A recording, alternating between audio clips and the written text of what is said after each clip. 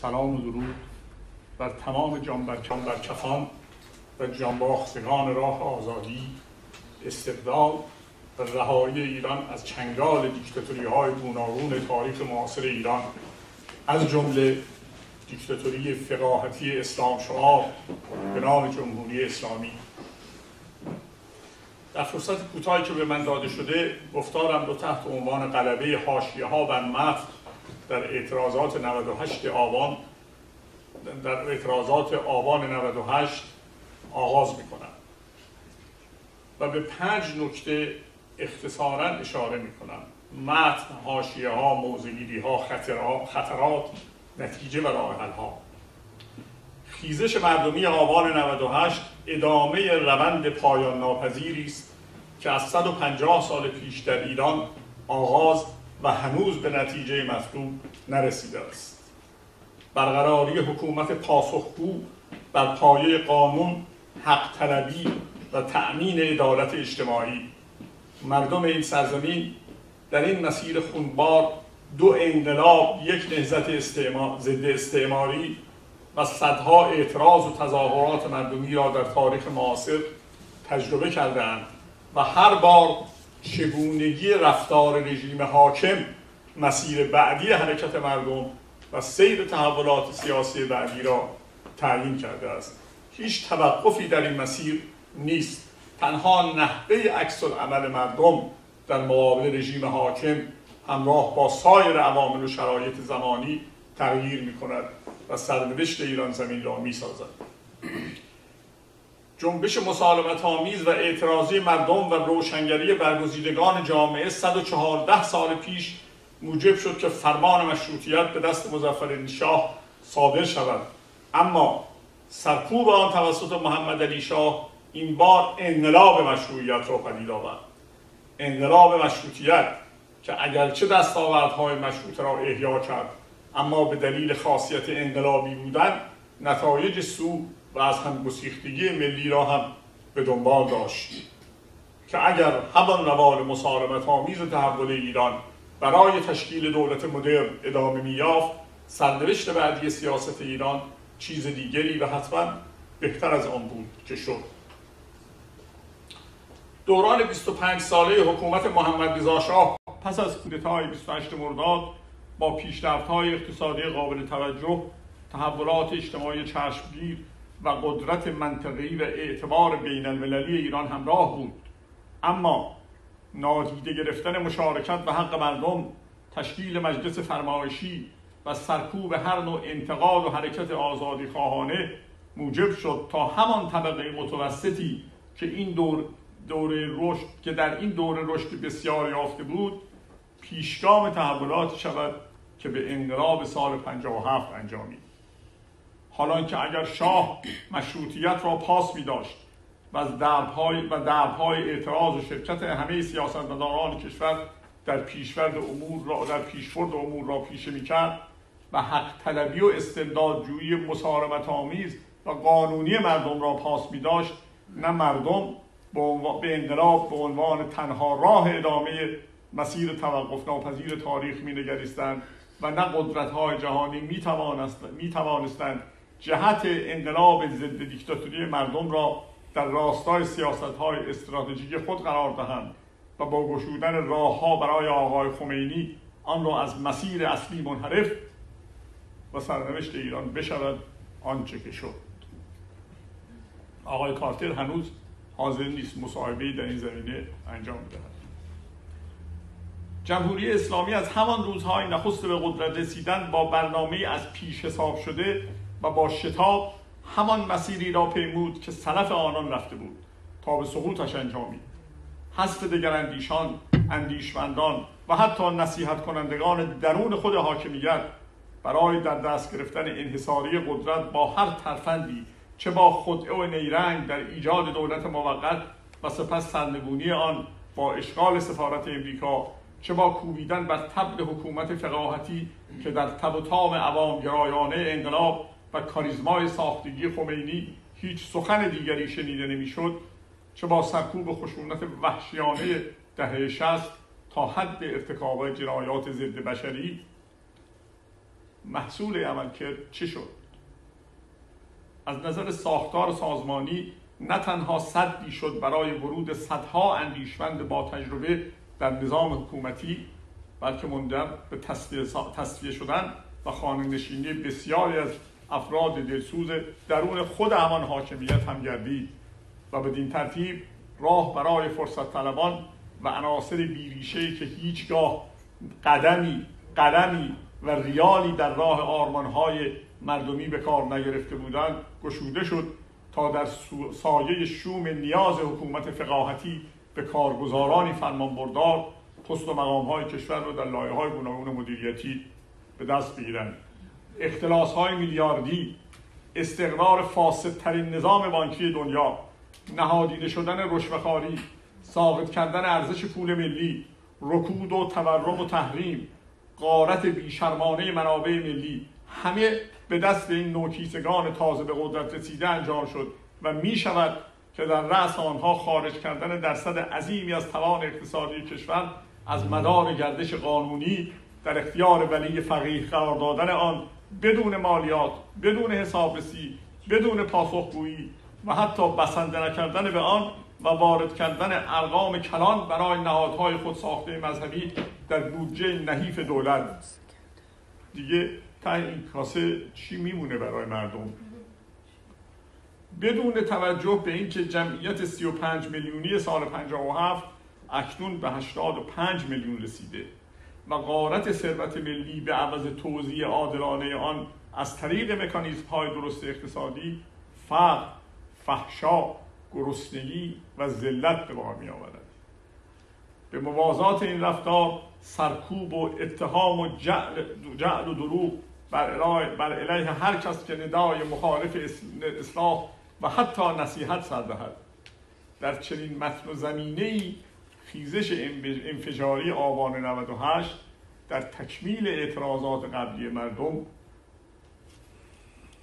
باید خیزش تحقیر شدگان نیازمندان توهیدستان غارت زده و خستگان از این بیشرمی و صد البته پیشروان جوان و اندوشمند و دلسوزی داشت که تن به نوکری این رژیم نمی‌دهد.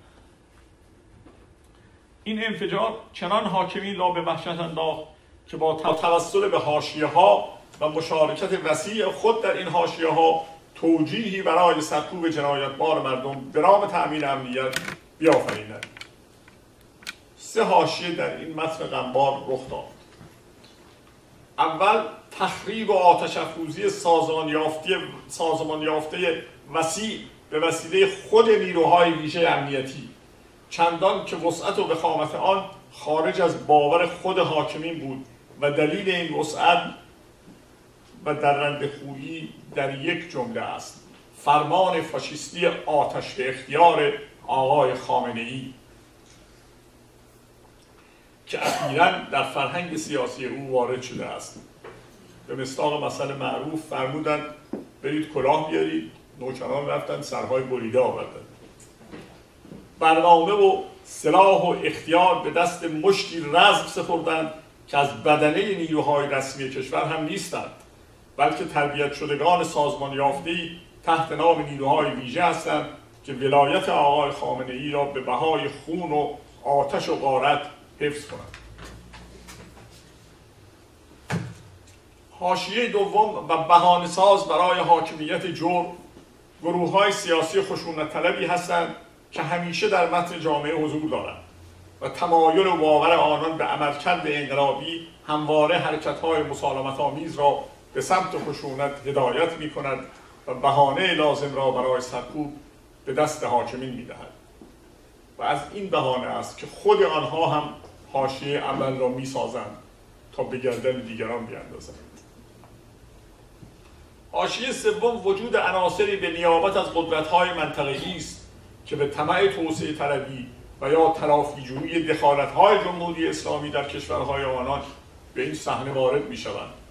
که البته گروه اول و سوم به دلیل آگاهانه و سازمان یافته عمل کردن هیچ آسیبی هم نمی‌بینند. تنها و به طور عمده مردم بیدفاع و بخشی از گروه دوم است که قربانی می شود پژوهشگران سیاسی از وجود این حاشیه ها غافل نیستند. و بروز آن در خاورمیانه و آسیای غربی را که تا مغز استخوان دچار بحران است بدیهی می‌دانند. اما غلبه بخشیدن به آن بر متن و زمینه خیزش مردم و کشتار بیگناهان حربه کثیفی است که به تصور پیروزی و ایجاد آرامش از جانب دیکتاتور اعمال می شود و اما موضع گیری های پس از این حادثه اول آقای خامنه ای تکلیف ایشان که روشن است. من چندین سال پیش یک کتابی از تامس اسپراگن میخوندم تحت عنوان فهم نظریه سیاسی. نکته که از این کتاب همیشه در ذهن من هست تأثیر خلق و خو و حالت روانشناسانه یک سیاستمدار و در کنار آن دانش تخصص دانش و تخصص او در تصمیم گیری هاست. که امیدوارم سرکار خانم دکتر به این مسئله بپردازند آقای خامنه ای از همان دوران طلبگی صرف نظر از ساده زیستی مردی متکبر خود بزرگبین قلدرمعاب و دارای روحیه نظامی بود و راه حل همه مسائل را سکوب خشونت و ایجاد روب و وحشت می‌دارد. پس تکلیف ایشون از همه نظر معلومه.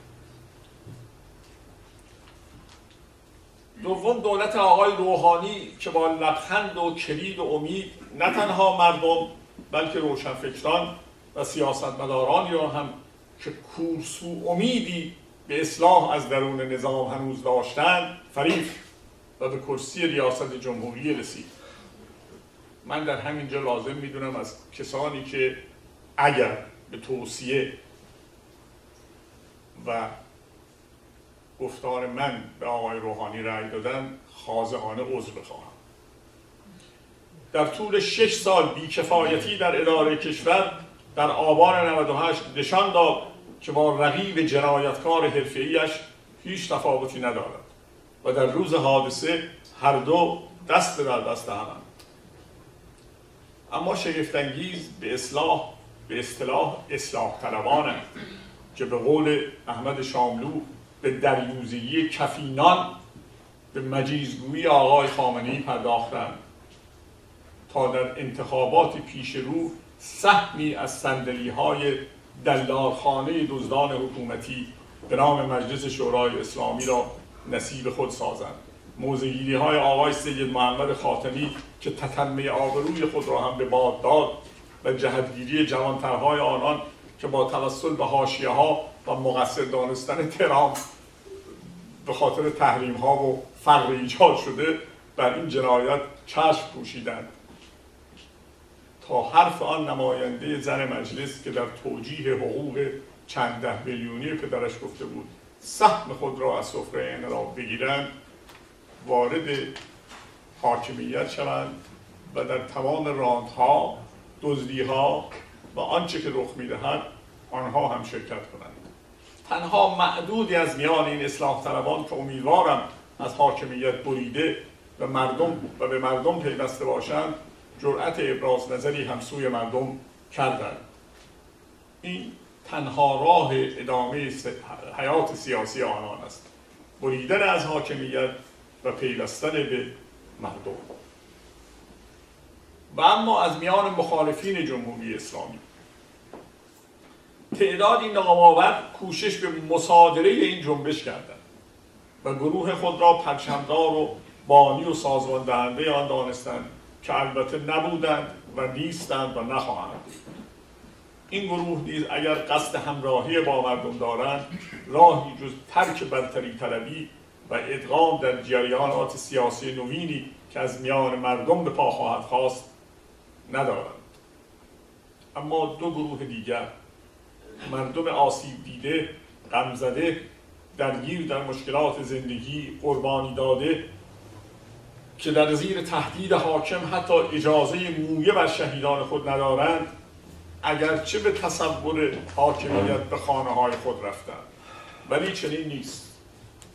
سکوت آنان خاکستر سردی است که کوره آتشی در درون دارد. دیر یا زود وسیعتر برجسته تر و آماده تر ادامه سیر توقف ناپذیر حق طلبی را به اشکال دیگر به نمایش خواهند گذاشت. و درست اینجاست که نقش ما عبور کرده از کوره راه ها و بزرگ راه های مسیر پرحادثه تاریخ سیاسی ایران نمودار می شود خطرات را بشناسیم و بگوییم تا شاید مسیر آینده هدف به تعبیق افتاده مردم تحقق بخشد. حکومتی مردم سالار بر پایه قانون آزادی استقلال و تأمین امنیت اجتماعی. روی سخن من اینجا با این هاست. آقای خامنه ای مردم ایران اساسا صلح طلب مسالمت جو مداراجو و نجیب هستند. به همین دلیل هیچگاه حتی در اوج خفقان و سرکوب رژیم گذشته به گروه های مسلح روی خوش نشان ندادند. حوزه نفوذ این گروه ها از حوزه دانشجویی پرشور و مشتاق و جانبرکف فراتر نرفت و به لایه های جامعه نفوذ پیدا نکرد. فرهنگ ما متفاوت از آن کشورهایی است که بدین شیوه تغییر در کشور خود را به انجام رساندن من کاری به نتایج اون ندارم. اما در امریکای لاتین و آسیای جنوب شرقی به دلیل تاریخ و فرهنگ دیگری که دارند نهضت های مسلحانه توانست انقلاب آنها رو پیروز کنه. حالا نتایج بعدیش هرچی شد مهم نیست. اما در ایران این راه به جایی نخواهد بود. به همین دلیل در فاصله پنج ساله 1350 تا 1355 همه گروه های مسلح ضد حکومت پهلوی از میان رفتند. اما همان رژیم با خیزش وسیع مردمی که به ناگزیر به راه انقلابی کشیده شدند و نفی کامل سیستم را طلب کردن از میان رفت. امروز هم همان شرایط است. خطر از میان رفتن شما آقای خامنه ای تهدید گروه های مسلح کوچک و پرسر و صدا نیست بلکه سیل مردمی است که شما آنها را ناگزیر به روی کرده انقلابی و نفی کامل سیستم موجود می‌کنید. خاورمیانه و آسیای غربی امروز با 42 سال پیش تفاوتی اساسی دارد. هر یک از کشورهای منطقه بشکه باروتی است که یک جرقه نابجا می‌تواند بنیان آنها را در هم بریزد. امروز حکومت مطلقه ولای شما در حال آماده سازی این شرایط در ایران است.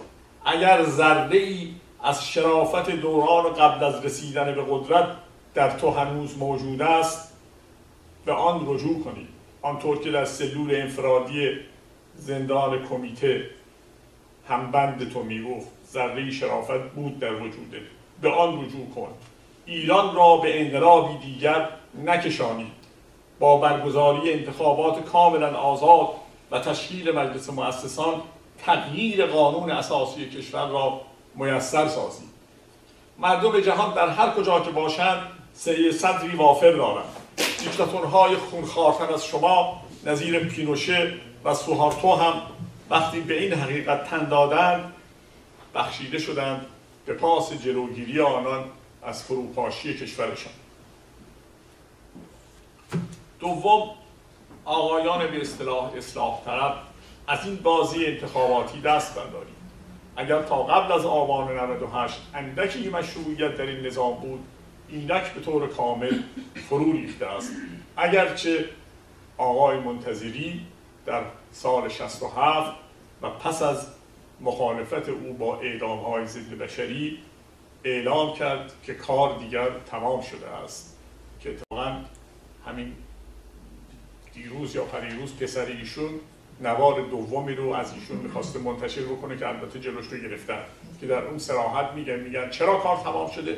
به خونی که به ناحق ریخته شد یعنی کار رژیم تمام است. ایشون به دلیل شرافت ذاتی اگرچه در سیستم فقاهتی اسلامی بودن اما به دلیل شرافت ذاتی که در داشتن و همواره در زندانهای رژیم پهلوی شخصیت ایشون جدا از سایر طلبه ها بود این تشخیص رو در اون موقع داد. حالا دیگه هیچ توجیهی بعد از آبان 98 وجود ندارد. شرکت در هر انتخابی طبق قوانین و روال موجود کشور به منزله تأیید سرکوب و خشونت رژیم حاکم است. شما شش سال مجلس ششم رو در اختیار مجلس ششم رو به طور کامل چهار سال در اختیار داشتید. در همزمان کرسی ریاست جمهوری و ریاست مجلس رو هم داشتید. چه گلی به سر مردم ایران زدید؟ جز اینکه شاهکارتون این بود که یه لایحه مطبوعات رو بردید مجلس که اون رو هم با یک فرمان حکومتی آقای خامنه ای باطل شد. اگرچه شما ممکنه از این زد و بند آگاه هم بودید فقط به خاطر فریب مردم رو بردید مجلس. و می‌دونستید که به این سرنوشت دچار میشه. یا به صفوف مردم بپیوندید یا لاقل کاری کنید که آن بانوی نماینده مجلس خانم سلحشوری کرد. مجلس را فرمایشی خواند. و حاضر به حضور مجدد در آن نشد. حداقل شجاعت بیان نظیر حسین موسوی رو داشته باشید که خمینی را با آبان 98 را با شهریور با 17 شهریور مقایسه کرد. اما متاسفانه شیخ اصلاحات که به ناحق و ناعادلانه در حسر است هنوز در فکر شرکت در انتخابات است. نه این راه تمام شده. این سیستم از درون قابل اصلاح نیست. اصلاح این سیستم فقط با جنبش مدنی مردم امکان پذیر است و بس.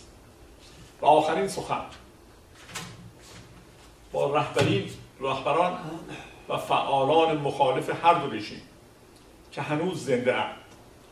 تحولات عظیم در سیاست، ایدئولوژی، فرهنگ، ارتباطات، تجربه حکومت‌های جهان و سرنوشت آنان اساسا دنیای دیگری ساخته است غیر از آن دنیایی که ما در آن تربیت شدیم. بنابراین نام و رسم و گروه و افتخارات و شهدا و همه میراث گذشته را به تاریخ بسپاریم و با رهایی اندیشه و عمل خود و هواداران خود از قید آن وابستگی ها فضای لازم برای ترکیب تجمیع و اتحاد اکثریت قریب به اتفاق مردم در اشکال جدید و سازمانهای جدید و نو فراهم سازید. این اتحاد نه تنها در میان مردم خارج از حاکمیت است بلکه میبایست بخش وسیعی از نیروهای رسمی کشور را هم در بر بگیرد اما از نیروهای نظامی و یا غیر نظامی. بدنه اصلی سپاه و بسیج و ارتش از میان خانواده های مردم ایران هستند. برخلاف تبلیغ رژیم حاکم مردم ایران از هیچ گروه و دسته دشمن آنها نیستند. سخن این است که هر کدام به وظیفه و جایگاه اصلی خود برگردند. صدها میلیارد هزینه تربیت و سازماندهی نیروهای سپاه و بسیج شده است که از تمامیت ارزی ایران دفاع کنند نه رویا روی با مردم. تنها در, اون در این صورت است که شما محبوب همه ملت همه نیروهای سیاسی همه احزاب و همه حکومت های می‌شوید که در ایران دموکراتیک قدرت اجرایی را در دست بگیرند. سوء استفاده حاکمیت موجود از شما ضربه مهلکی به خانواده شماست. به آن تن ندهید. حساب خود را از حساب تعداد اندکی مزدور چشم بسته جدا کنید و با قبول جایگاه واقعی خود که دفاع از تمامیت ارزی کشور در مقابل دشمنان خارجی است به روی مردم آتش نگشاید. شاد و پیروز باشید.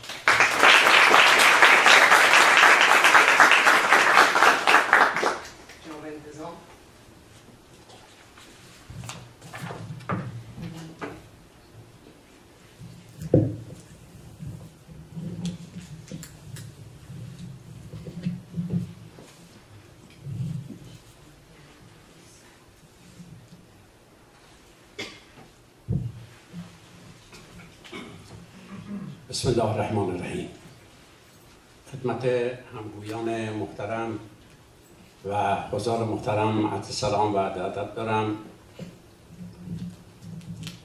من به عنوان یک پدر داغدار در غم و سوگ همه مادران و پدران داغدار در سراسر جهان کسانی که برای کرامت انسانی قیام کردن مخصوصا هموطنانم شریک هستم و از تسلیت دارم. اگر امروز به نقشه جهان بنگریم this is not only the Iranian problem it's the world problem. سرزمین زیبای زمین همه جا الان غرق خون و فساده. منتها از هر جامعه یک انتظار وجود داره. ما انتظار داشتیم که بعد از انقلاب 57 دیگه سرزمین ما خونی بر زمین نبینه. همه چیز وارونه شد. اگر امروز من دعوت می‌کردن که در جنبش مردم هنگ کنگ صحبت کنم و در یا درباره ستمی که امریکا بر ویت کنگ ها در ویتنام روا صحبت کنم حتما میبایستی از باور اونها صحبت می‌کردم.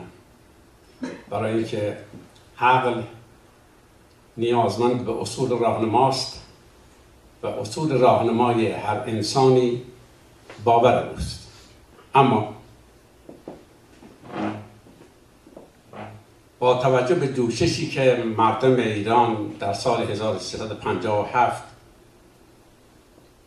به وجود آوردند و عنوان اون را انقلاب اسلامی گذاشتند. ملت دانسته یا نادانسته که موضوع بحث امشب من نیست. رهبری فردی را انتخاب کردند که به نام ایدئولوژی بلایت فقیه و نه خدای اسلام و نه دین اسلام. او را انتخاب کردند و به راه افتادند و تصور کردند که این انسان یک انسان خداگونه است. و از انسان خداگونه به جز رحمت انتظار دیگری نداشتم قبلا به شما عرض کنم که من انسان دینی نیستم. چون انسان دینی می‌گوید دین من بلا غیر. تلاش می‌کنم دین مدار باشم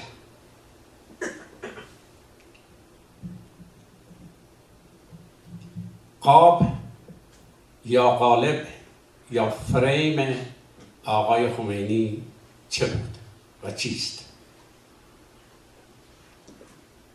یعنی اینکه ما به مرحمت برخورداری از وجود یک حکومت تک نفری و مستبد به نام آقای محمد رضا پهلوی قبل از انقلاب و رفتن شاه از ایران هیچ گونه اطلاعی از آقای خمینی نداشتیم. ما فقط یک قاب یا یک فریم یک قالب را نگاه می‌کردیم. که عبارت بود از یک امامه یک لباس بلند یک جهنالین و تعدادی ریش یک عبا و در اکثر مواقع انسانی سربزیر این خلاصه اون چیزی بود که ما از آقای خمینی می‌دانستیم. شوربختانه ما در خارج از این قاب هیچ گونه اطلاعی از ایمان طرز تفکر سواد علم و حتی خدای آقای خمینی نداشتیم. ما نه به عنوان یک ملت آگاه و حتی نه به عنوان یک ملت مسلمان رهبری را انتخاب کردیم و به دنبال او را افتادیم. که حتی ما تفاوت بین رهبری و راهبری را هم نمی‌دانستیم. پس برای روشن شدن فریبی را که در این عدم آگاهی خودمان از یک فریبکار که به قول خودشون فرمودن من خودعه کردم نسبت به ملت ایران. نقل به قول از خودشون می‌کنم به عنوان امام و رهبر انتخاب کردیم و پیرو شدیم. لزوما امشب من باید از دینی دفاع کنم که آقای خمینی در پشت دیوار ریا و فریب آن پنهان شد و پناه گرفت و سرنوشت ما را به این آتشی که امروز می‌بینید رقم زد. چه دردناکتر این که بعد از گذشت چهل سال به جای اینکه اول یقه خودمون را بگیریم و سرمون را به دیوار ناآگاهی خودمون بزنیم به راه افتادیم و بر سر هر کوی برزن فریاد می‌زنیم که همه این جنایت ها همه این ظلم ها همه این نارواها به خاطر اسلامی است که بر کشور ما حاکم است. بسیار شوربختانه است. شما بزرگواران و اساتید من در اینجا خوب می‌دانید که انسان تنها موجودی است که از عقل استفاده می کند و این عقل یا خرد نیازمند به اصول راهنماست اصول راهنمای این انسان باور اوست. در این 1400 سالی که اسلام به ایران آمده شما چند نفر روشن فکر رو سراغ دارید در تاریخ ما که پا پیش گذاشتند و اون بذری رو که روحانیت متحجر و وابسته در مزرعه اسلام و قرآن کاشتند اون بذر را ریشهکن کنند و جامعه را روشن کنند که دین شما چگونه است. شاید بسیاری از این دین بعد از اون روشنگری پا به فرار میگذاشتند ولی باید به هر صورت یک باوری را برای به عنوان اصول راهنما برای زندگی خودشون انتخاب می‌کردن. اما چون موروسی بود و در فریب روحانیت متحجر و از فریب روحانیت متحجر ارتساق می‌کرد کسی به دنبال فهم این دین نرفت. تعداد بسیار انگشماری در تاریخ ما تلاشی کردن. که تلاش اونها را هم عجل می‌ذاریم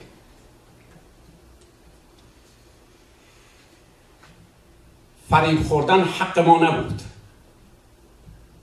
نتیجه ناآگاهی ما بود.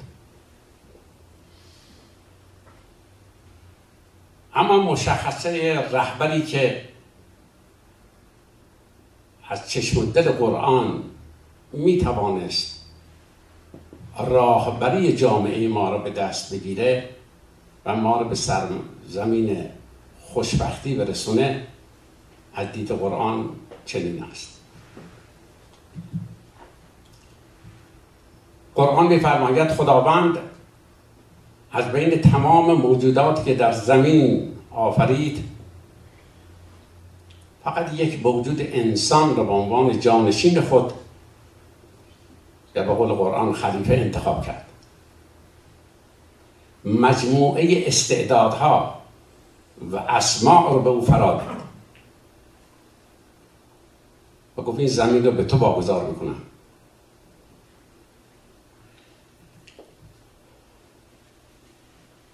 تو تا جایی می‌توانی رشد کنی که به قول سوره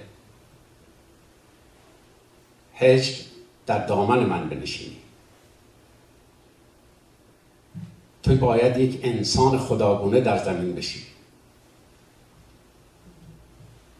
یک سوره که ده بار مسلمانان در نمازهاشون می‌خونند برای شما در این وقت کم بازگشایی می‌کنن. قرآن میفرماید که بسم الله الرحمن الرحیم خداوند با توجه به اینکه میفرماید من هستی خودم را در رحم رحمانیت و رحیمیت آفریدم پس تو انسان باید با عشق به هستی رحمان و در مرکز آن به کرامت انسانی رحیم پایبند باش. این مفهوم بسم الله الرحمن الرحیم هست که هر انسان مسلمانی در نمازهای شبان روز یا در اوقات دیگر تلاوت می‌کنه الحمدلله رب العالمین. رب ربوبیت مدیریت. از زمانی که ما ابلاغ جانشینی خداوند رو در زمین گرفتیم از امروز ما مدیر این زمین هستیم. وقتی که خداوند میفرماید رب العالمین یعنی تو دید مدیریتت کرداد مدیریت در زمین باید جهان شمول باشه. یعنی در یک محدوده این حصار این فریمی که همین آقا زندگی کرده می‌کنه و از اسلام همین به جا آورده نباید زندگی کنیم. جهان شمول یعنی هر انسانی بر صفحه خاک هر موجودی بر صفحه خاک هر گیاهی بر صفحه خاک هر ماهی در اعماق دریا باید برای تو کرامت خودش رو داشته باشه محترم باشه. تو بدون برخورداری اونها از یک زندگی بارفاه خود به زندگی بارفاه نخواهی رسید. الرحمن الرحیم.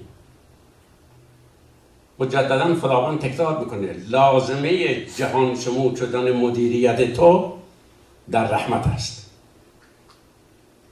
چیزی که امروز در کشورهای به اصلاح اسلامی خوابش رو هم نمیشه دید آرزو هم نمی‌تونیم بکنیم براش. مالک یوم دین تو نیک میدانی که در زمین عمر موقتی خواهی داشت. اما اگر به هستی و نظام هستی باور داری باید دید تو دید جهان شمول باشه. آینده نگر باید باشی. فکر نکنی که این جسم خاکی که به زیر خاک مرد و به جسم خاک رفت سرنوشت تو تمامه. باید یک باقیات صالحاتی از خودت باقی بذاری. تو معنی و مفهوم این نمازی رو که داری می‌خونی و می‌گویی مالک یوم الدین که من اینو به تو تفیز کردم اینو بفهمی و به اون عمل کنی. این ملت مسلمان ده بار در این شبان روز می‌گویند یا کنه و دو و یا کنستنی این بزرگترین درس استقلال آزادی یک انسان از وابستگی به غیر از خداست. حالا هر خدایی که می‌خواد انتخاب بکنه هر باوری که انتخاب کرده باید بر باور خودش عهد و وفایی که با باور خودش بست بر اون پیمان بیست اهدنا صراط المستقیم. فرق است بین معنی هدایت یه عده‌ای هدایت رو رهبری می‌دونن. قرآن میگه هدایت این راهبری. راهبر کسی است که در پیش جامعه خودش در صف اول جامعه قرار می‌گیره.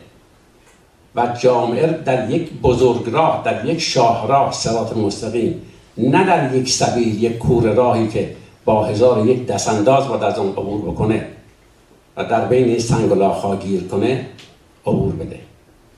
اهدنا الصراط المستقیم یعنی راهبری تو برای جامعه ای که در یک شاهراه خوشبختی و سعادت باید حرکت کنی و این راهبر باید در صف اول این جامعه قرار بگیره. خب شما در طول این تاریخ اسلام به من نشون بدید. بگید یکی از رهبرانی که در جوامع اسلامی حکومت کردند خارج از این کاخهای محافظ شده توسط یک عده جنایتکار به نام سربازان کاخ به جامعه آمدند در بین جامعه زیستند و با غم و شادی مردم اون جامعه خودشون شریک شدند. این شاهراه بزرگ سرات مستقیم.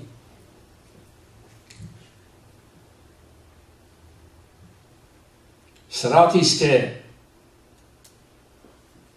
باورمندان نظم آفرینش و آفریدگار در آن پای نهادن سرات الذین انعمت علیهم غیر المغضوب علیهم ولا الضالین.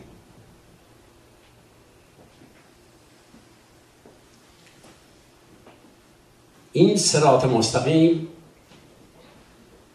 سراتی است که همه نعمتهایی که خداوند به خاطر ما در این زمین خلق کرده که میفرماید و خلق تمام اشیاء رو به خاطر شما خلق کردم. در این سرات مستقیم همه این نعمت ها وجود داره. همه خوشبختی ها در همین شاهراه بزرگ خوشبختی است. و اگر اون راهبر به رهبری رسید رهبری مستبد شد سرنوشت خود و ملت خودش در جزو مغزوبین بر زمین قرار میده. و در این مغزوبین سرنوشتشون به زلالت و گمراهی می‌رسه. چرا؟ برای اینکه به قول قرآن راه غیر انتخاب کرد. تاقود شد. فریادهای فریبنده سران این حکومت را از ابتدا تا امروز شنیدید. گفتن به قبلی ها من گفتم تاقود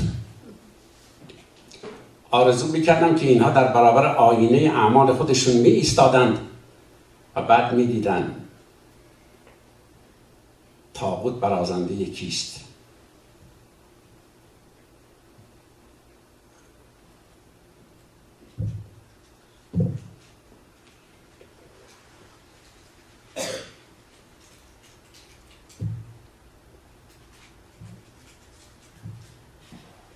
آیا امروز کسی در بین کسی منصف انسان منصفی در بین جامعه ما هست که بگه ما آگاهانه و دانسته انقلاب کردیم؟ یعنی با تمام شعورمون با تمام قد بالای انسانیمون از دانشگاه رفته میدل کلاس اون کارگر کارخانه. ما دانسته و آگاهانه به میدان آمدیم. ما یک راهبر برای جامعهمون انتخاب کردیم و به دنبال این راهبر در خیابان آمدیم در کوچه بازار آمدیم و فریاد الله اکبر زدیم. کدوم الله ما اصلا می‌دانستیم الله کیست کجاست چگونه است. و چقدر اکبر است. و اگر اکبر است کی به فریاد ما خواهد رسید؟ ما را چگونه هدایت می کند ما فقط به اون قاب نگاه کردیم و اون فریبنده که در قاب بود. پرستش خداوند نظم آفرینش. نظم زمین رو فراموش کردیم. به او گفتیم تو سرنوشت ما رو تعیین کن. و این سرنوشتی است که امروز در آتش هم داریم میسوزیم.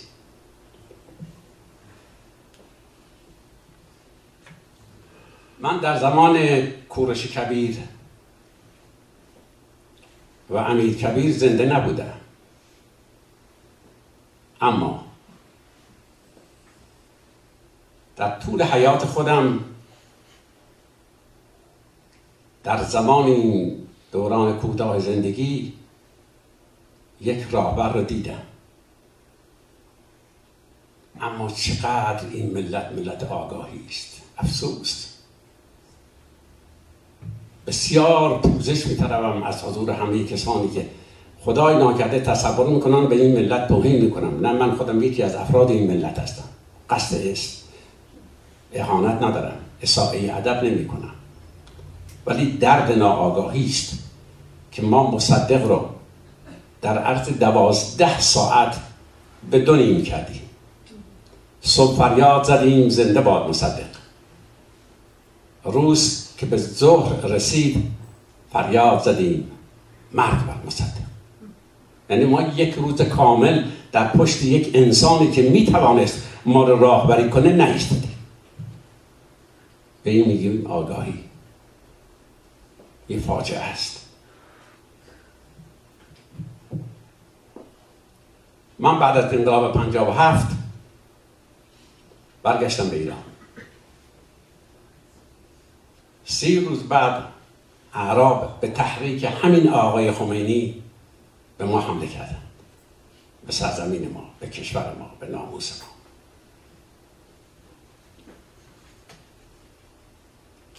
رفتم در خیابان زند توی شیراز به فرماندهی سپاه. گفتم من قبل از انقلاب چهارده سال ست بیمارستان ساختم مدیریت کردم. رفتم در گرمای پنج درجه احواز بیمارستان ساختم. امروز اسلحه به دست نمی‌تونم بگیرم.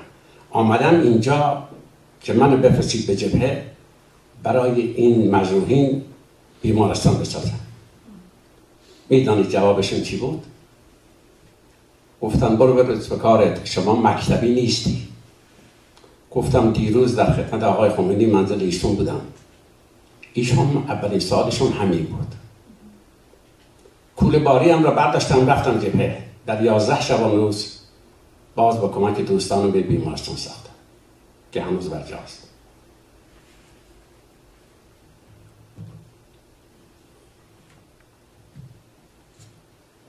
می‌دانید به چه جرمی بعد از پنج ماه با داشتن خود جلبم از ایران آواره شدم.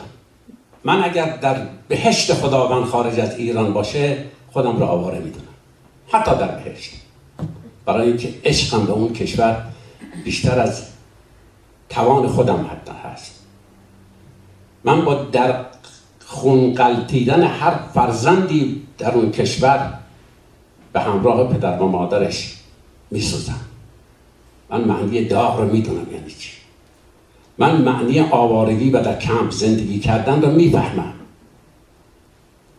ولی مجبور شدم وطنم رو ترک کنم. چرا؟ برای اینکه جواب دادم. یعنی چی مکتبی؟ کدوم شما هنوز دارید در مکتب 500 سال قبل الف دوزو بر دو پیش اون دارید صحبت می‌کنید. من دارم از سالهایی که انسان در این رستوران ها رفته ظرف شسته در این بیمارستان ها رفته مریض جابجا کرده شبان روز کار کرده رفته دانشگاه درس خونده آمده امروز شما می‌گویید تخصص به درد ما نمی‌خورد. من ما باید مکتبی باشیم هنوزم به قول معروف دندون روزی کرد گذاشتم گفتم حالا بازم شاید انشالله درست بشه. سی خرداد شهر فرا رسید.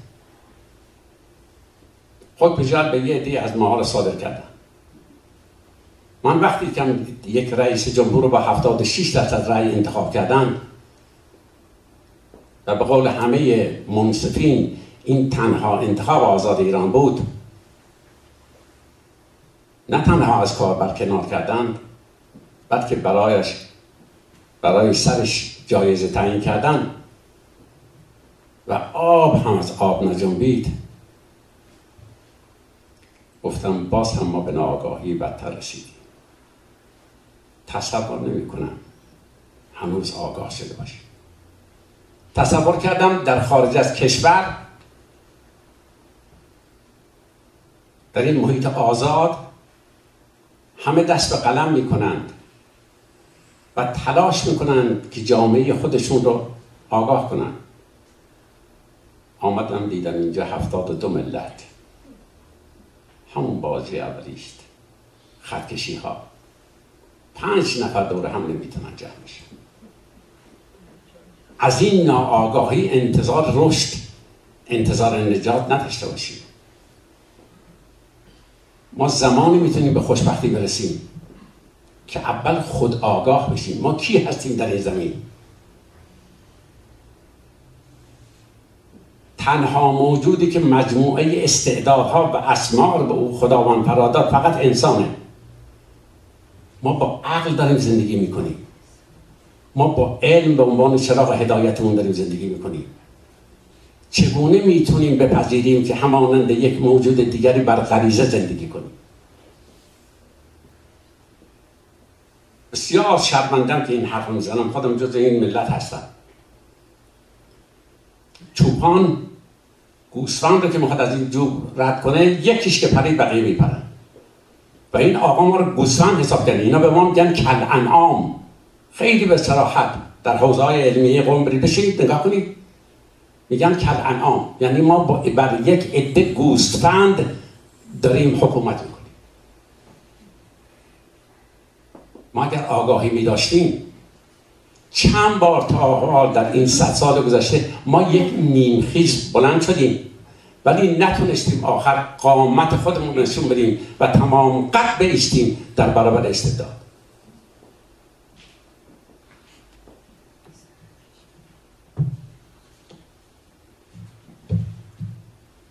فرعون دستور داد که سر بچه های بنی اسرائیل رو باید پسرانشون رو نابود کنید. تا نسلی از این جامعه باقی نمون موسی برای خداوند گفت این که نشد که بشه ما یه قراری با هم داشتیم. تو ما رو برگزیدی که ما این قوم رو به به یه خوشبختی برسونیم. گفت نه من کارم من بر قولم ایستادم برید خانه هاتون قبله یکدیگر کنید. این کار کردن و موفق شدن و نجات پیدا کردن. ما تا زمانی که خانه هامون قبله هم دیگر نکنیم موفق نمیشیم. درد شما باید درد من باشد درد من باید درد شما باشد. ما امروز چه رابطه ای با پدر و مادر و همسر و خانواده و همسایه و جامعهمون داریم؟ یه جامعه متفرق شدیم. ما باید خانه هامون قبله یکدیگر کنیم. تا به سعادت و خوشبختی برسیم. و اگر اون روز فرا رسید مطمئن باشید که یکی از جوامعی که حتما به اون خوشبختی خواهد رسید ما خواهیم بود.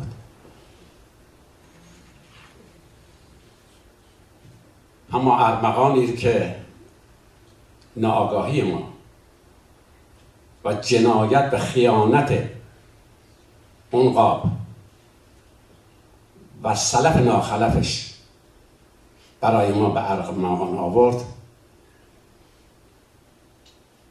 فحشا دزدی فساد همه اینهایی که در این قرآن حرام اعلام شده همه اینها رو در جامعه ما توسعه دادن. و این جای بسیار بسیار تاسف آرزو می‌کنم که ما به مرحله از رشد برسیم و آگاهی برسیم که این بار با جنگ و خونریزی و کار ما به جایی نمی‌رسه. با وابستگی به دیگران به جایی نمی‌رسیم. خودمون بر پا بیستیم و خانه ها اون قبله یکدیگر کنیم.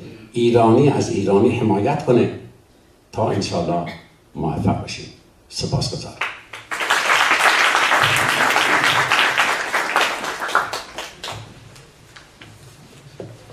سلام می‌کنم خدمت حضار محترم. تشکر می‌کنم از مؤسسه آموزشی فرهنگی ابن سینا و همچنین از جناب دکتر جوادی که لطف کردن. من رو هم دعوت کردن در این نگاه من به آنچه این روزها داره می‌گذارید نگاه جامعه شناسانه است. جامعه شناسی در مورد مسائل اجتماعی تمرکزش بر ساختار ساختار جامعه و همینطور کنش و واکنشی است که بین افراد وجود داره. بی که قدرت یک نفره وجود نداره. باید حتما نفر دوم وجود داشته باشه که قدرت معنی پیدا بکنه. تبعیض یک نفره وجود نداره. حتما نفر دوم وجود داشته باشه که تبعیض معنی پیدا بکنه. بنابراین جامعه در یک کنش و واکنش مسائل و پدیده هایی به وجود میاره که گاهی مطلوب است و گاهی هم نامطلوب. خب آن چیزی که در این روزها در ماه گذشته اتفاق افتاد و هنوزم ادامه داره من قصد دارم در چهار قسمت بهش نظر بیندازم توضیح بدم. قسمت اول وضعیت جامعه و نظام جمهوری اسلامی هم جامعه هم نظام جمهوری اسلامی چگونه است؟ دوم چرا این گونه شد؟ از کجا به خطا رفت؟ این مردم که زمان انقلاب این هم با هم متحد بودن این همه که جانفشانی کردن. حتی زمانی که خمینی اومد اعلام کرد که دانشگاه از بمب اتم بدتر هستند باز مردم موندن. باز مردم رفتن جبهه. مال اوایل انقلاب هست. زمانی که خمینی اعلام کرد که حضرت علی 700 نفر رو در یک روز کشته و ما کم کشتیم. همین سال اول انقلاب هست. چه مردم پیروی کردن ادامه دادن این وضعیت رو. خب این وضعیت کم کم البته کاهش پیدا کرد تا به جایی رسید که دیگه آن اعتقادات مردم نبود که حکومت می‌کرد و حکومت داشت استفاده می‌کرد. رسید به جایی که مانند امروز نیروی امنیتی، نیروی نظامی، اسلحه، زندان، دستگاه قضایی این هاست دیگه در حکم می‌کنه. و ثروت البته وسایل ارتباط جمعی و مذهب حکومتی. این دومین قسمت است که بهش خواهم پرداخت. سومین قسمت وضعیت مخالفین جمهوری اسلامی هست جمهوری اسلامی با توجه به اینکه اکثریت مردم ایران علیه نظام جمهوری اسلامی ولایت فقیه هستند چرا نمی‌تونن کاری بکنن؟ چرا نمی‌تونن کاری پیش ببرند؟ و چهارم دوست دارم که به این قسمت پاسخ بدم. چه باید کرد و چه می‌توان کرد؟ این چهار قسمت هست که من می‌خوام در صحبت امروز در همین 20 25 دقیقه وقتی که من داده شده دربارش توضیح بدم. نکته اول وضعیت جامعه و جمهوری اسلامی است. جامعه ما از دید دموگرافیک نگاه بکنیم از جمعیت شناسی نگاه بکنیم یک کشور 83 میلیون 4 میلیون نفری هست که زمان انقلاب زیر 40 میلیون جمعیت بیشتر نبودند. به عبارت دیگر باید محاسبه کرد در این محاسبه سرانگشتی میشه گفت که از اون 40 میلیون اول زمان انقلاب 20 میلیون هم فوت کردند بنابراین 75 تا 80 درصد جمعیت کنون ایران انقلاب با انقلاب هیچ گونه رابطه‌ای ندارن. بعد از انقلاب متولد شدن. حالا بعضی از این گروه ها ممکن مثلا 10 سالش 10 سالش بود ما قبل انقلاب الان 50 سالشه اون شخص. 10 ساله بود 8 ساله بود که انقلاب شده بازم چیزی راجع به انقلاب نمی‌دونسته نقش در انقلاب نداشته. بنابراین می‌رسیم اینجا که وضعیت جامعه ایران از نظر دموگرافیک یک جمعیت پیدا کرده که هیچ رابطه داینامیک و دیالکتیکی با انقلاب و پدید انقلاب نداره. ولی همطور که اشاره کردم نظامی درست شده که در این نظام جمهوری اسلامی با زور بر مردم و قدرتی که از طریق ثروت مردم ایران در, اختیار داره خودش رو تحمیل می‌کنه. چرا این وضعیت هست؟ به نظر من باید نگاه کرد که خود وضعیت جمهوری اسلامی چطور است. وضعیت جامعه این گونه است طبقه متوسط تحصیل کرده یک شهری اکثریت جامعه جامعه تشکیل میدن. زنان تحصیل کرده تا بسیار تحصیل کرده از بسیار جوامع دیگر شدند. ولی شغل ندارن ولی حرمت ندارن در جامعه ولی سرکوب میشن در جامعه. جوانان کار ندارند. جوانان آرزو دارند که بتونن در همون گونه که جوانان دیگه در کشورهای دیگر زندگی خوشبختی دارن هم خوشبخت به خوشبختی برسند. ولی جمهوری اسلامی حتی در میهمانی های خصوصی جوانان دخالت می‌کنه. حتی در اتاقهای خواب مردم هم دخالت می‌کنه. وضعیت جمهوری اسلامی به گونه ای هست که مردم به یک عبارتی باید گفت که زله شدن از این حکومت. ولی علا رقم همه اینها تا چند سال گذشته یعنی زمانی که 24 میلیون نفر رأی دادن به حسن روحانی هنوز دنبال این بودن که فرصت بدن به نظام جمهوری اسلامی خوش اصلاح بکنه. با وعده هایی که حسن روحانی داد باز به فرصت میدیم 24 میلیون رأی بهت میدیم. برو وعده ها عملی کن. برو حصر رو پایان بپذیر. برو زندانیان سیاسی رو هم که حرفای خودت زدی. زندانیان سیاسی آزاد کن. برای جوانها کار ایجاد کن. همونطور که جهانگیری معاونش اعلام کرد اقتصاد و چند رونق خواهیم داد که مردم نیاز این یارانه های ده دلاری و پنج دلاری نداشته باشد ولی این اتفاقات نیفتاد. خب چرا این وضعیت هست؟ بعد می‌رسم به وضعیت دو... قسمت دوم که چرا این گونه شد؟ وضعیت جمهوری اسلامی اون وعده هایی که زمان پیش از انقلاب پیش از کسب قدرت توسط فقها داده شد با اون وضعیتی که بعدا اتفاق افتاده همینجوری ادامه پیدا کرد چه تفاوت هایی کرد و چرا این اتفاق افتاد؟ من فکر می‌کنم که من فقط فهرستوار بهش اشاره بکنم از روز اول اینها اومدن ثروت ملت رو مصادره کردند. ثروت فقط اون ها نبود که اینا گرفتند. کارشناسا هم از ما گرفتن متخصصین رو از ما گرفتن متخصصین نظامی متخصصین اقتصادی. فقط از دانشگاه 9000 نفر رو اینا تصفیه کردن از ارتش 11 هزار نفر اینا تصفیه کردن سران ارتش رو زدن. زمانی که جنگ شد بخشی از این کسایی که تصفیه کرده بودن عمرای ارتش نبودن که البته ولی افسران ارتش بودن اینها رو با فرا که بیان در جنگ شرکت بکنن. منتها زیر فرمان فرماندهی سپاه پاسداران. کسانی که از علم نظامی و تخصص نظامی آشنایی نداشتن با تخصص نظامی آشنایی نداشتن. در یک فقره فقط محمد قرسی یکی از کاندیداهای دوره قبل استاندار خوزستان بود 19 افسر ارتش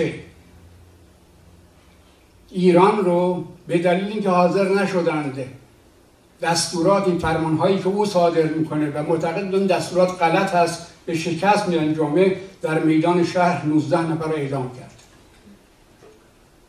این وضعیت ادامه پیدا کرد. در شرایطی که جهان وارد عرصه دیگری شد. تکنولوژی اطلاعاتی و همینطور جهانی شدن ویژگی های دوره جدیدی شد که همزمان باز انقلاب ایران اتفاق افتاد. کشورهایی که شبیه ایران بودن هم سطح ایران بودن مثل کره جنوبی برزیل مکزیک ترکیه حتی عربستان عقبتر از ایران تمام کشورهای آسیای دور جنوب آسیای دور اینا تونستن از امکانات تکنولوژیک و اطلاعاتی استفاده بکنن از امکانات پیشرفتی صنعتی غرب استفاده بکنن از سرمایه گذاریشون استفاده بکنن از بازارشون استفاده بکنن تولیداتشون بفرستن در اینجا و جمهوری اسلامی در صدد این برآمد ایران رو در انزوا نگه داره. نه تنها در انزوا نگه داره بلکه یکی از مراکز یکی از منابعی که می‌تونست در خدمت رشد و پیشرفت ایران قرار بگیره یعنی آمریکا رو دشمن خودش اعلام کرد و چهل سال این دشمنی رو ادامه داد. چون انتظار نداشته باشه جامعه ایران جز این هست که امروز باشه. اشاره کردن دوستان مدیریت مکتبی به جای مدیریت تخصصی. و هر کس که در, در پست مقامی قرار می‌گرفت میواز در وحده اول مکتبی باشه یا بانمود بکنه که مکتبی است. یعنی مثلا ریشی بذاره کروات رو برداره یقش آخوندی بکنه از این اداعتبارا میست در بیارن که بتونن در پست قدرت هم از طرف همونها قرار بگیرن. و این درویی بی اخلاقی حق بازی در جامعه گسترش داد.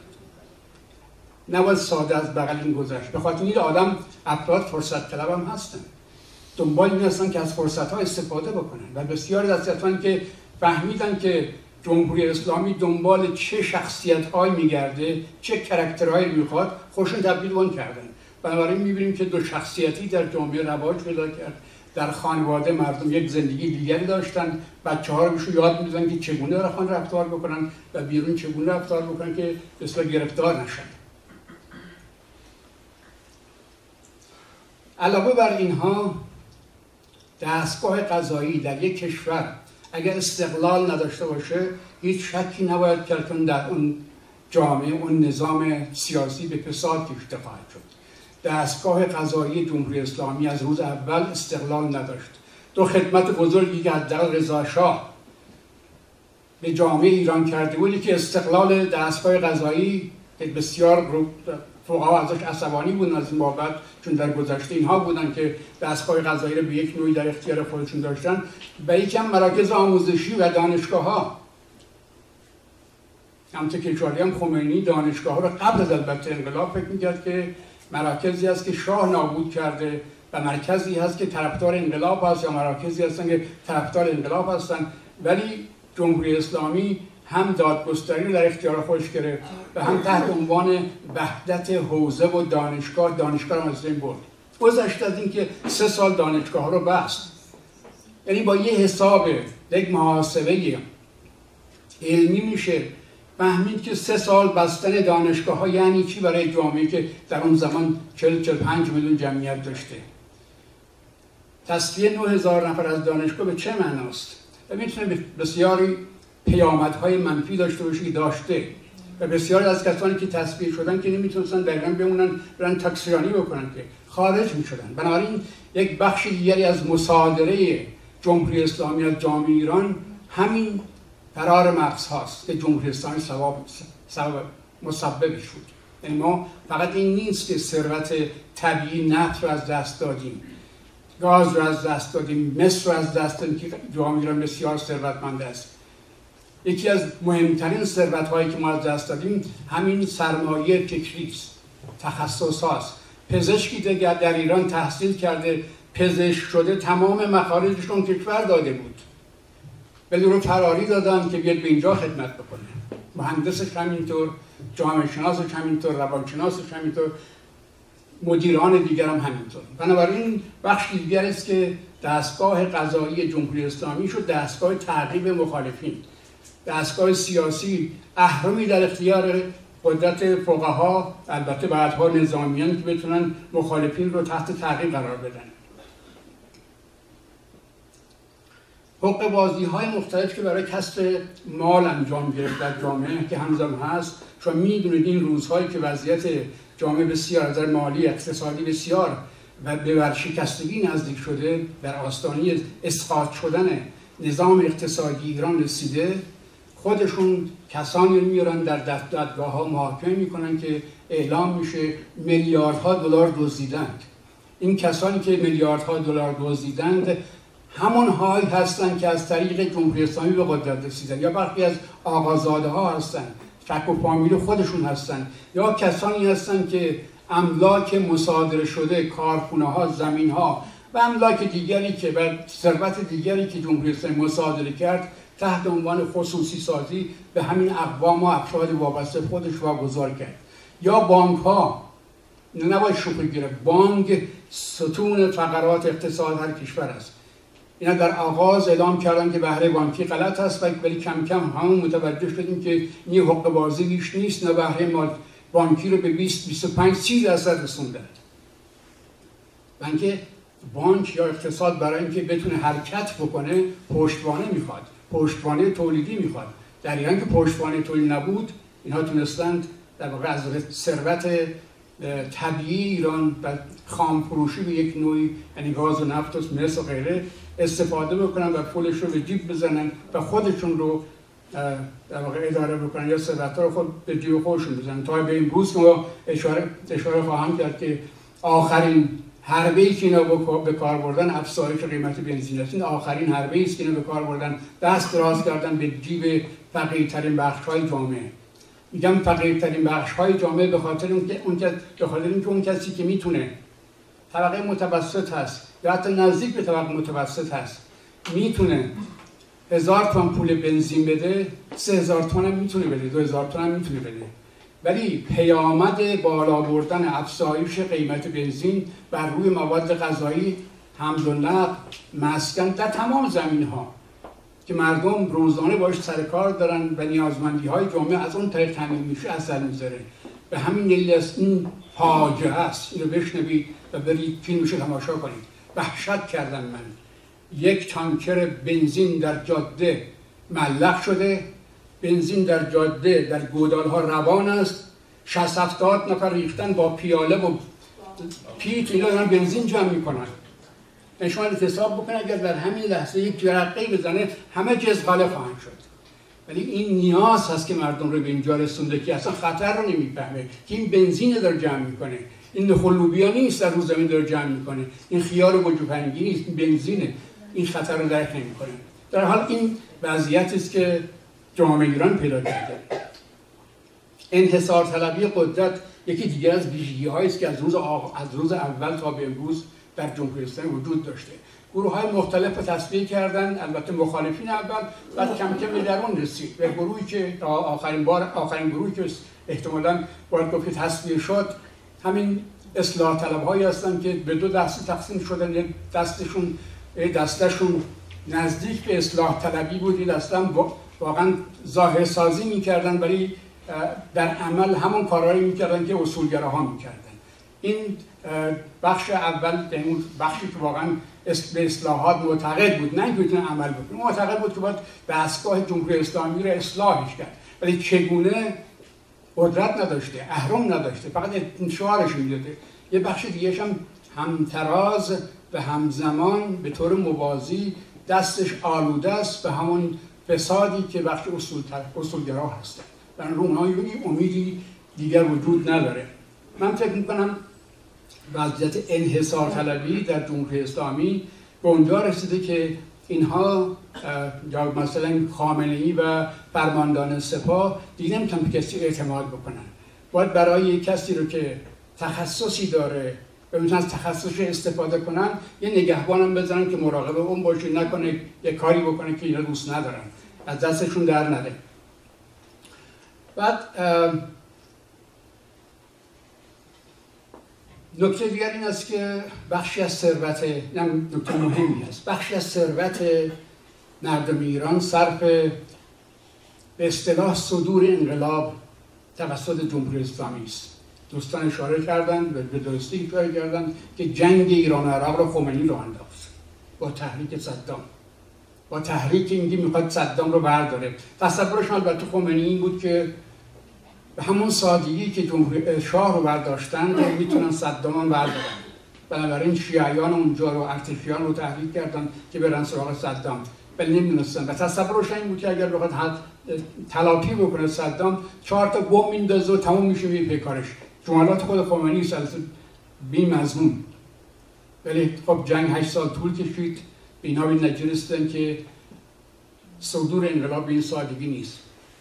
ولی بی ثبات کردن کشورهای دیگر امکان پذیر هست. در این دست از این سیاست بر نداشتن که بیان کشورهای دیگر رو بی ثبات بکنن. و برای این هزینه های سنگینی مردم پرداختن. اصلا مردم نمی‌دونن که جمهوری اسلامی چقدر پول در عراق خرج کرده در فلسطین خرج می‌کنه در سوریه خرج کرده در جاهای دیگه حتی در کشورهای آمریکای لاتین. پول جاهای مختلف. هر جا که تونسته نیروی پیدا کنه که ضد آمریکا شعار بده یا سیاست سیاست ضد آمریکا باشه اینا رفتن سراغش پیداش کردن پول میدن. کمک می‌کنن. اینا منابعی است که در اختیار مردم نیز قرار بگیره در اختیار نیروهای قرار گرفته که بخوان با جمهوری اسلامی هماهنگی بکنن علیه آمریکا. خب می‌دونیم بارها آمریکا تلاش کرد که بعد بعد از ماجرای هستشگیری گروگانگیری تلاش کرد که بتونه رابطهش رو با جمهوری اسلامی عادی بکنه. به خصوص در دوره اوباما و در دوره کلینتون. حتما می‌دونی واقعه‌ای که کلینتون تلاش کرده بود که با محمد سید محمد خاتمی در سازمان ملل ملاقات بکنه و او در دستشویی اینقدر مونده بود که کلینتون خسته شد رفت. در اینکه اون شهامت سید محمد خاتمی شهامت این که بیاد مثلا یک سلام علیک معمولی هم با کلینتون بکنه و مقدمه‌ای بشه برای برقرار کردن رابطه عادی. چرا؟ برای اینکه جمهوری اسلامی به خصوص اون بخش سپاه و خامنه و و کسان که هم فکر و هم عقیده و هم سلیقه خامنه‌ای هستن تصورشون برای این هست که تا یک دشمن خارجی وجود نداشته باشه ما نمی‌تونیم مردم رو تحریک بکنیم و نگه داریم. همواره باید از یک دشمن خارجی مردم بترسونیم. این البته تئوری هست در جامعه شناسی که هر جایی که جنگ میشه برای حفظ تمامیت ملی و حفظ جمع و جمع آوری مردم حول حکومتش جنگ باید را بندازن. یه دشمن خارجی درست بکنن بنابراین مردم احساس بکنن که سرزمینشون در خطر است الان شما می‌بینید به محض اینکه جنبش های مردم اعتراضات مردم بالا می‌گیره شروع به این می‌کنن که ایران مثل سوریه میشه ایران مثل عراق میشه. یعنی این گونه مردم میترسن مردم عقب نشینی می‌کنن. مردم همواره در تمام دنیا به امنیتشون بسیار امنی به طور طبیعی اهمیت میدن. ولی امنیت در چارچوب آزادی به دست میاد. اگر آزادی وجود نداشته باشه امنیت گلابیه. چون امنیت یعنی که مردم در امن باشن.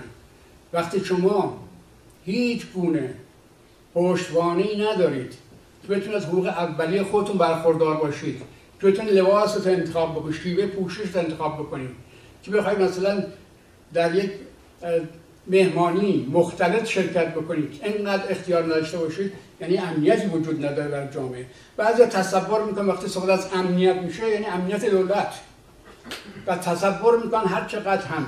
این به نظرم نکات ظریفی است که گاهی گم میشه. تصور می‌کنن اگر دولت در درون مردم خوب سرکوب می‌کنه دشمن خارجی هم خیلی خوب سرکوب می‌کنه. این تصور در آمریکا هم وجود داره که می‌دونید وقتی جمهوری ها رو انتخاب می‌کنن تصورشون بر این است که اینها از نظر نظامی بهتر هستن از تا دموکرات ها چرا با دشمن خارجی بهتر می‌تونن بجنگن؟ در ایران هم این تصور وجود داره که اگر جمهوری اسلامی خوب می‌تونه اقلیت های قومی رو سرکوب بکنه بنابراین می‌تونه تمامیت ایران هم حفظ بکنه. اگه تمامیت حفظ تمامیت ایران این معناست که شهروندان ایران صاحب حقوق بشن و حقوق برابر بشن. و اون زمان هست که امنیت برای مردم پیدا معنی پیدا می‌کنه. اجازه بدید من از این وقتم داره تموم میشه گذر بکنم برم به نکته بعدی. وضعیت مخالفین رو خدمتون بگم.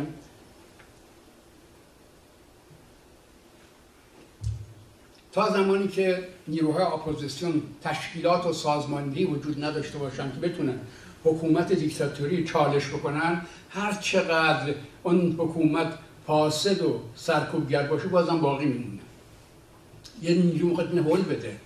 اگر نیرو وجود نداشته باشه ما دسترسی به رسانه دارن. به پول دارن هنوز به زندان دارن به دستگاه قضایی دارن به تمام به شغل دارن به جواز کسب دارن به همه به دانشگاه دسترسی به همه دسترسی دارن. دارن نیروی اپوزیسیون برای اینکه بتونه در مقابله قدرت دیکتاتوری ایستادگی بکنه دنبال باید دنبال تشکیلات و رهبری باشه. و این تشکیلات و رهبری امروز شاهد بودیم که هر جا در ایران تلاش شد اینا سرکوب کردن. تشکیلات صنفی کارگران نمی‌ذارن تشکیل بشه معلمان رو نمی‌ذارن تشکیل بشه. جبهه فلان مثلا نیروی سیاسی فلان نیروی فکری نویسندگان در خونه‌شون جلسه تشکیل میدن میرن به هم می‌زنن.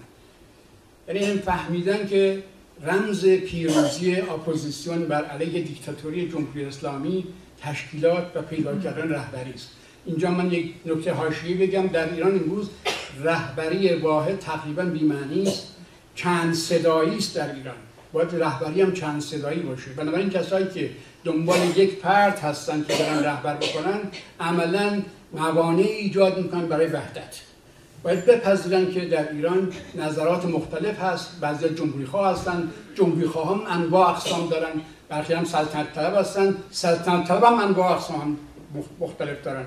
علیه همدیگه دارن می‌زنن.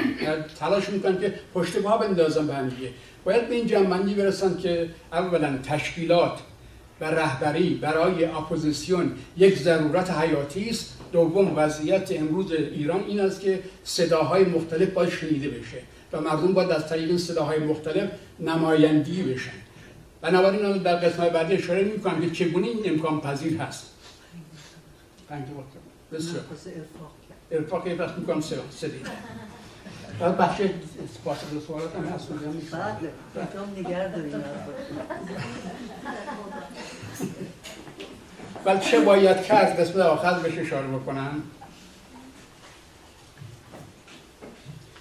من فکر می‌کنم که در ادامه نکته ای که برای سازماندهی و ایجاد رهبری و رهبری چند صدایی ایجاد صحبت کردم یه نکته مهمی دیگر هم هست که بر اساس تجربه است که یا تجاربی است که در کشورهای دیگر اتفاق افتاده. و اون این است که برای دیکتاتورها باید راه پرارم بگذارید. بیخ دیوار نگذارید که تا آخرین دقایق مقاومت کنه باید مثل لهستان مثل آفریقای جنوبی زمینه ای فراهم کرد که اگه دیکتاتوری قصد کرد عقب نشینی بکنه بدون عقب نشینی بکنه. حتی بخشی از ثروت اون مرد بهتر از این است که جامعه رو ویران بکنه بهتر از این مثلا ده ها هزار نفر کشته بشن و نتیجهش مشخص نیست چی هست. اگر چنین اتفاقی بیفته. در لهستان یاروزسکی ژنرال یاروزسکی آخرین مثل رئیس جمهور لهستان بود. یک سال بیشتر رئیس جمهور نبود نظامی بود. این نتیجه رسید که جنبش همبستگی که دوازده سال اون داشت قدرتی پیدا کرد که باش هیچ کارش بکنه. به خصوص که قبل از اون در رومانی اتفاق عجیب غریب دیگر افتاده بود که اون بسیار ترسیده بود. به همین دلیل دولت دیکتاتوری نظامی کمونیستی لهستان حاضر به انتخابات برگزاری انتخابات آزاد شد. با علم به اینکه در انتخابات میبازه و باخت. و لخبالسا که کارگر بود نماینده کارگران بود شد رئیس جمهور و برنده قبل از برنده جایزه صلح نوبل. در آفریقای جنوبی هم همینطور. ماندلا به این نتیجه رسید. دبلیو اف دلکرات که رئیس جمهور بود اون هم به این نتیجه رسید که بهتر است به جای اینکه این مبارزه ادامه پیدا پیدا بکنه البته در آفریقای جنوبی 80 سال مبارزه علیه آپارتاید ادامه داشت تبعیض نژادی ولی برای اینکه قطع بشه حاضش به سازش شد. که در یک دوره شش ماهه یک حکومت مشترک وجود بیاد بعد انتخابات آزاد برگزار بشه. دکلارک هم می‌دونست که انتخابات آزاد یعنی جمعیت هفت برابری سیاه پوستان و رنگین, رنگین پوستان بر سفید پوستان برتری پیدا خواهند کرد. ولی زیر انتخابات رفت انتخابات آزاد برگزار شد و جامعه لهستان بدون که وارد عرصه خونینی بشه از شر آپارتاید حکومت تبعیض نژادی نجات پیدا کرد. در لهستان هم همینطور منتها در رومانی چایشسکو رئیس جمهور وقت بعد از 25 سال حکومت دیکتاتوری مقاومت کرد. در یک سخنرانی که در میدان شهر جلو کاخ بالکن کاخ داشت می‌کرد مثل همیشه اول شعارها بود زنده باد چایشسکو زنده باد چایشسکو چیزی نگذاشت که ناگان شعارها شد مرگ بر چایشسکو مرگ بر چایشسکو چایشسکو که پشت میکروفون داشت صحبت می‌کرد ها جواج بود این چه وضعی است؟ دید نه داستان ادامه پیدا کرد فرار کرد. همراه بسیار کسایی که در بالکن بودن فرار کرد. او رو دستگیر کردن. دو روز بعد همراه با همسرش النا به جرم خیانت به مردم و از بین بردن و تسخیر اموال عمومی رو عمومی هر رو تیرباران کردن. این یه درس است. درس لهستان و آفریقای جنوبی هم یه درس است. و میشه از اون درس استفاده کرد. پایان پایان حرفم این است که در ایران و در جاهای مختلف مبارزات یکسان نیست. مبارزات بر دو قسم است. شما در فرانسه این روزها می‌بینید که دارن جنبش بسیار گسترده وجود داره. در هنگ کنگ هم می‌بینید. در عراق هم می‌بینید. در لبنان هم می‌بینید. در ایران هم می‌بینید. تفاوت اینها با این است که در بعضی از این کشورها مثل مثل فرانسه و هنگ کنگ مبارزات درون سیستمی هست. نه درون سیستمی که وجود داره می‌خوان تغییر تحولات اصلاحی انجام بدن.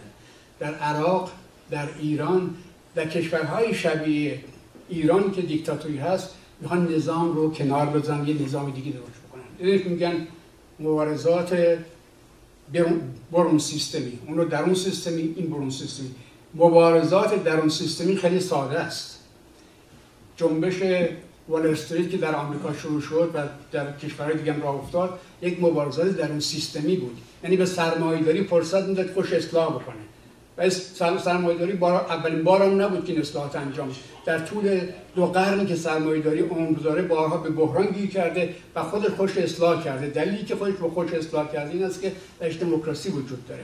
در کشورهایی که دموکراسی وجود ندارند اصلاح درونی ممکن نیست بنابراین باید جابجایی قدرت صورت بگیره. این جابجایی قدرت بسیار سخت است.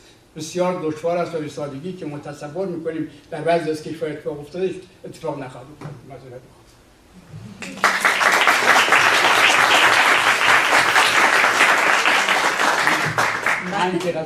من, من حالا می‌فهمم که چرا وقتی خانم آقا می‌خوان از خونه برن بیرون خانمه میگه آقا زود باش. آقا زود باش.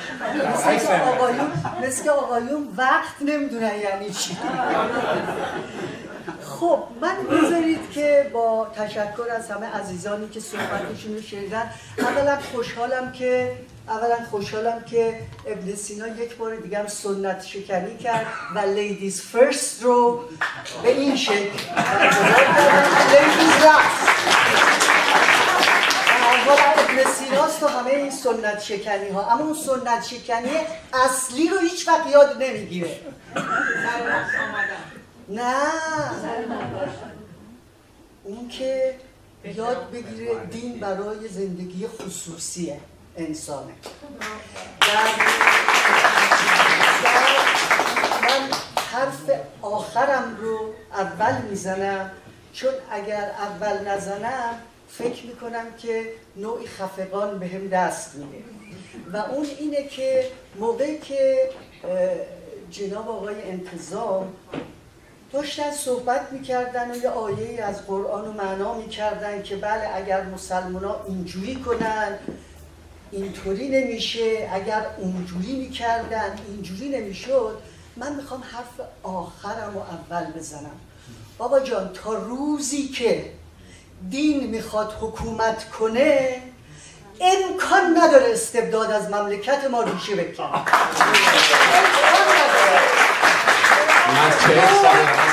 نداره. صحبت شما فرمودید من صحبتمو بکنم.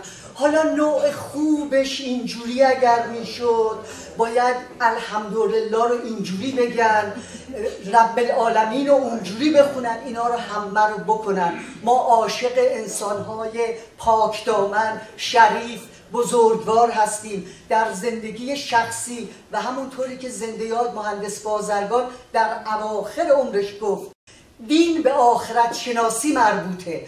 دنیا رو به متخصصین به سیاستمداران به جامعه مدنی به نیروهای دموکراتیک به سندیکاهای حرفه‌ای بسپرید تا ما هم جز کشورهای پیشروی جهان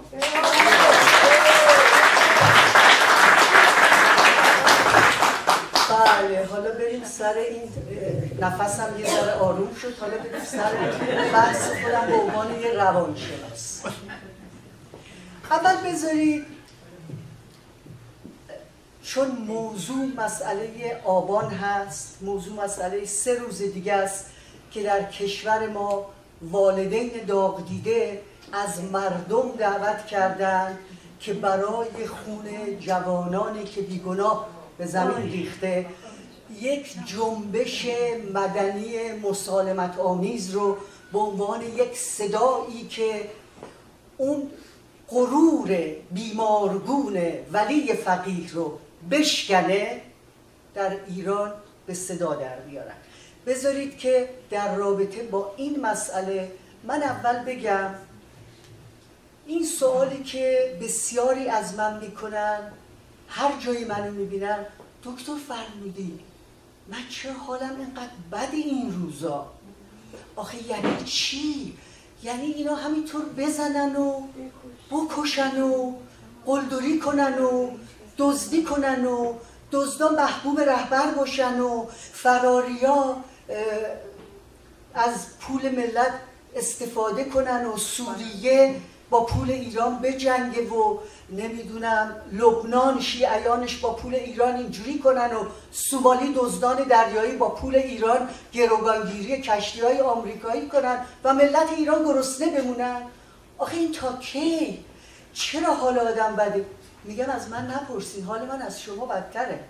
من یک هفته ده روز مریض شدم. نوه من به دخترم گفته بود وای میزی سو سد هنوزم صدم تنها جوری که تونستم به این افسردگی که یک نوع عجز درونی شده است مسلط بشم این بود که خودم رو به زنجیرهای زندگی هی آویزون کنم. انقدر ترشی پختم. بین دوستامون تقسیم کردم. انقدر آش پختم به در همسایه دادم. انقدر باغبونی کردم که فقط هنوز به خودم بگم یه کاری از دستت برمیاد. چون در اون زمینه کلی گرفتار عجز درونی شده بودم.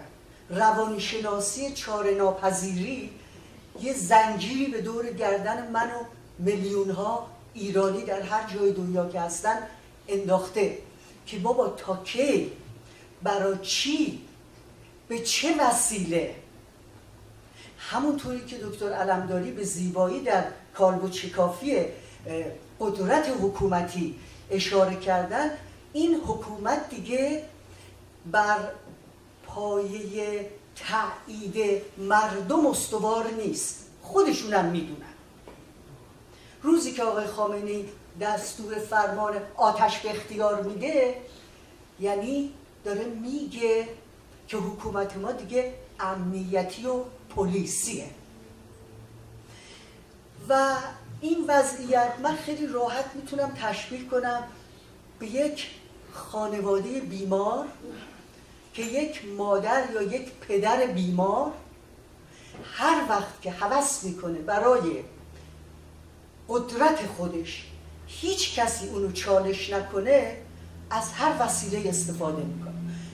چرا ما روانشناسا وظیفه داریم که اگر در دفترمون یه خانمی اومد یا یه آقای اومد نشست گفت دکتر فرمودی بچه های من تو بیم و حراس زندگی می‌کنن.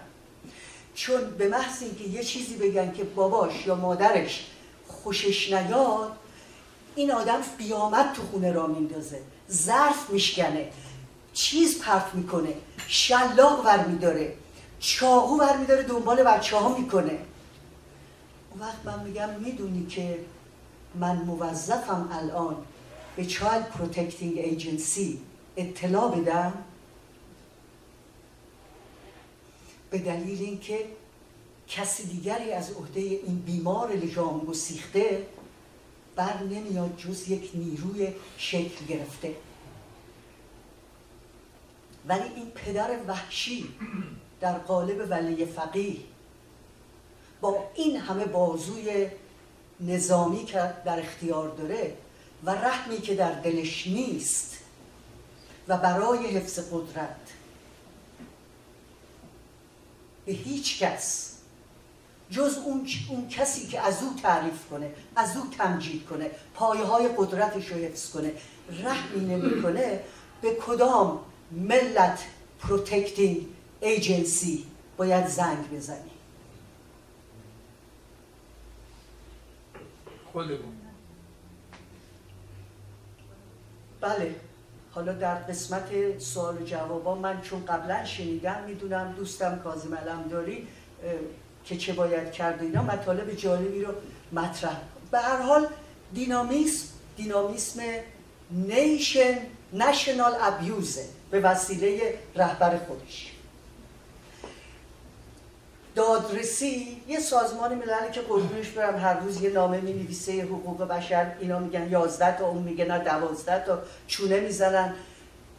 به هر حال بنابراین تنها نیرویی که اینجا میمونه اینه که ما اگر به عنوان روانشناس نخواهیم که حالا یک بچه ها سنشون بالاتر از سن کودکی باشه ما نخواهیم به جای مجبور نباشیم به جای اطلاع بدیم اون وقت میگیم اون آدم ابیوسی رو ولش کن. شما بیاید و برای خودتون راه های توانبخشی روانی یاد بگیرید. که خودتون رو بتونید در این بحران ها حفظ کنید. بسیار تو برنامه های تلویزیونی یا تو فیسبوک یا تو ایمیل های از من می‌پرسن که اصلا دکتر فرمودی این افسردگی برای ما دیگه قابل درمانم نیست. چون چند دفعه بریم تو خیابونا چند دفعه به کی امید ببندیم؟ دیگه دفعه موسوی رو که نصف شب گرفتن کردن اونجا و آقای رهبر احمدی نژاد و نصف شب تنفیزش کرد. اون که رأی اون موقعمون بود تظاهرات اون موقعمون بود. به آقای اوباما هم که گفتیم اوباما اوباما یا با اونا یا با ما آخرش تصمیم گرفت با اونا. بعد از اون این ماجرای تظاهرات دیگه بود تظاهرات قبل از این بود. اینا رحم نمی‌کنن. یکی از سران سپاه یا بسیج گفته بود ما در راه ولی فقیه و امام زمان و اسلام و حفظ نظام اگر مجبور بشیم 60 میلیون آدم هم می‌کشیم حالا بنابراین ما با یه همچین منتالیتی با یه همچین تاراج عقل با یه همچین ایدئولوژی کور مواجه هستیم. ما از فقدان فهم درست در عذاب هستیم. بعد ولی, ولی این سوالی که از من هی می‌کنن که خب الان اصلا دیگه زندگی معنی نداره. من اتفاقا با یه دو نویسنده در یه گفتگوی از راه دور از راه نمی‌دونم چی میگن این دستگاه. اسکات اسکات صحبت می‌کردیم. دیدم این نویسنده بسیار فرهیخته می‌گفت این ناامیدی ما یک ناامیدی واقعیه و ما با واقع بینانه باید بگیم که امیدها بسیار کم هستند. من در اونجا و در یه جای دیگه که خودم تو زندگی به همین نقطه ناامیدی رسیده بودم اتفاقا سالهای اول انقلاب بود. من تازه از دانشگاه اخراج کرده بودم و در نتیجه من به اجبار مطب خصوصی در تهران گذاشته بودم. جنگ ایران و عراق تازه شروع شده بود. سه گروه قربانیان خانواده های شهدای جنگی خانواده های اعدام شدگان و تیرباران شدگان افسران و کسانی که ظاهرا تاغوتی به نظر می رسیدن و دسته سوم وابستگان حزب توده که با قرآن خوندن احسان تبری. و نمی‌دونم توبه کیانوری و اینا دیگه روانشون پاشیده بود که یه روزی زندگار دکتر کاظم سامی به من تلفن زد و گفت دو نفر در بیمارستان رو لبمان دولت هم خودکشی کرده بودن نجاتشون دادیم.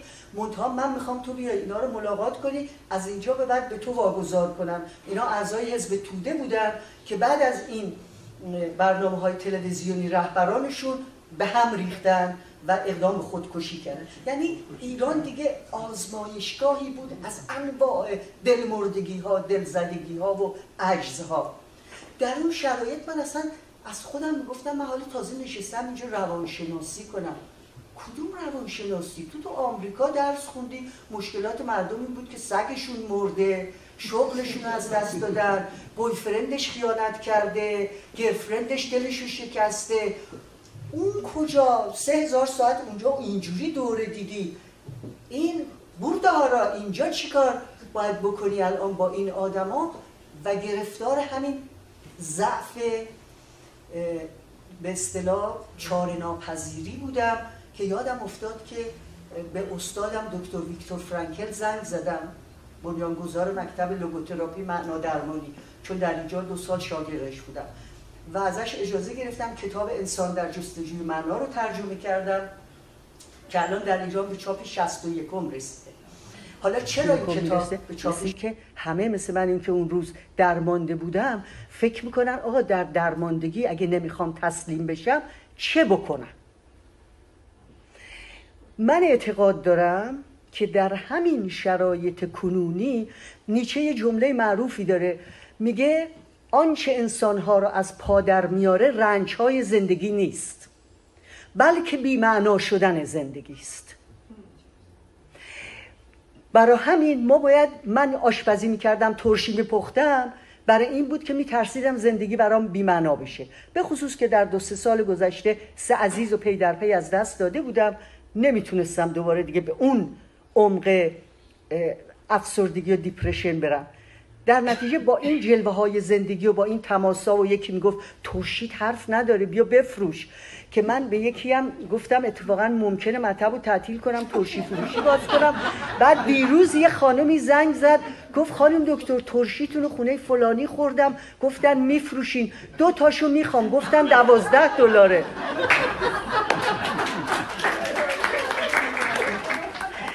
به هر حال امیدوار شدم که ترشی منو دوازده دلار پول میدن. به این ترتیب یه معنای موقت برای خودم پیدا کردم. اما تو گفتگو با اون, دانش با اون نویسنده عزیز خانم مولوی گفتم من فکر می‌کنم ما ایرانیا در هیچ وقت در برابر این رژیم نمی‌تونیم بیمعنا بشه زندگیمون. نمی‌تونه بیمعنا بشه. به دلیل اینکه ما تا روزی که ایرانیتمون ایرانمون رو آداب و سنتمون رو تمدن 2500 سالمون رو چی منشور حقوق بشر کوروشمون رو آزادی ادیانمون رو از دست این حکومت پس نگرفتیم زندگی ما معنا داره. ما مبارزات معناجویانمون این هست که ایران رو از دست کسانی که با حکومت عبوس دینی با تحجر فکری با قوانین 1400 سال پیش می‌خوان ایرانی رو که پا به پای تمدن امروزی جلو بره بسازن ما ایرانمون رو باید از دست اینا پس بگیریم. به قول سیمین دانشور عزیز حتی اگر هزار سال مرده باشم ستون به سقف تو می‌زنم. اگرچه با استخوان خیش زندگی ما معنا داره. معنای ما پس گرفتن ایرانمون رو از دست قاسبین مستبد و کوته فکر و متحجر.